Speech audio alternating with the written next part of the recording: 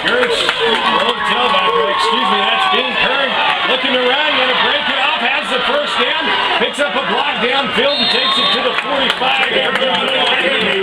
Late. Let's see what it's what the call's going to be. As it may have been a hold.